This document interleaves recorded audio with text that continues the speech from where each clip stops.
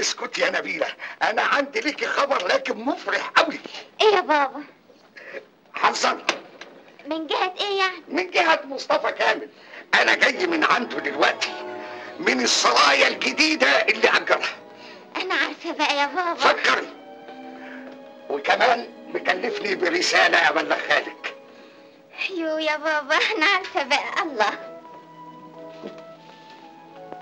إيه الحكاية؟ ضروري يا سمسم. عاوز يسألني أرضى بيه ولا لا؟ طبعا راضية وقلبي راضي ودي عاوزة كلام يا سمسم مصطفى بيقول لك يا ستي إن من يوم ما أهديه العالم وهو في دماغه فكرة وجه وقت تحقيقها. وحياتك يا بابا ما تقعدش تكسفني بقى. وإهداء للكسوف مصطفى كامل هيطلع جورنال اسمه اللواء.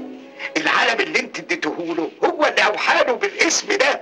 ما هو حاكم العالم واللواء واحد. جورنال وطني وانت صاحبة الاسم. الله انت مش فرحانة زيي ولا إيه؟ أيوه يا بابا فرحانة خالص.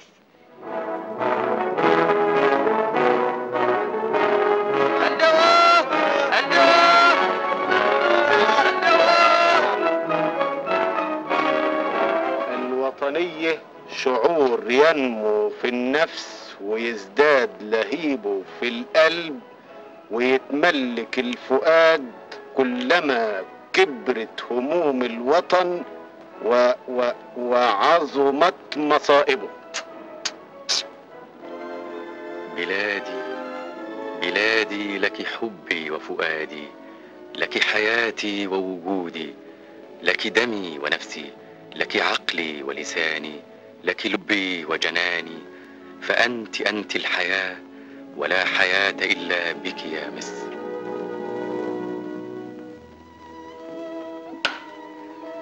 النواب يا نبيلة هتفرحي بصحيح مصطفى كامل مصطفى تلميذي أصبح خلاص. فاهمة يا بابا فاهمة يا سلام أنت كمان كان قلبك حاسس إن ده هيحصل؟ أيوه يا بابا من زمان. غريبة أنا ما كنتش متوقع ده أبدا. مين يقول إن تلميذي مصطفى يبقى باشا. باشا. أيوه. أنت مش مصدقاني؟ السلطان أنعم عليه برتبة البشوية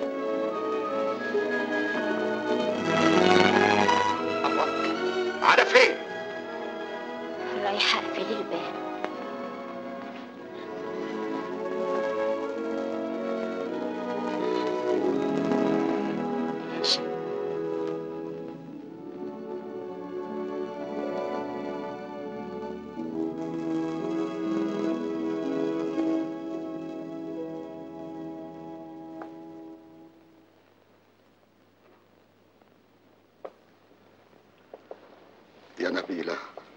أنا فهمت. كانت على عيني غشاوة لكن فهمت. فهمت بقلب الوالد. يا بنتي مصطفى مش ملك نفسه ده ملك مبادئه وعقيدته.